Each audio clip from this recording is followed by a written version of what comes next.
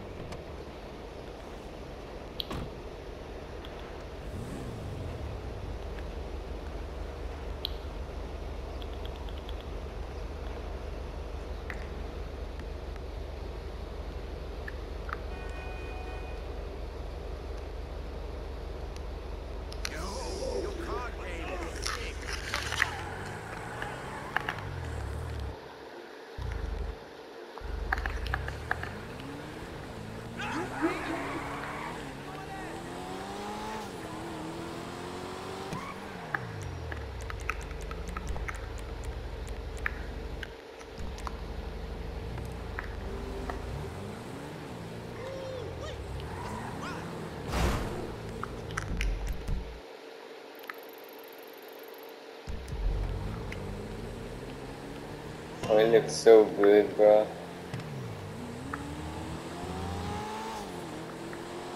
Let me go in person. Try to.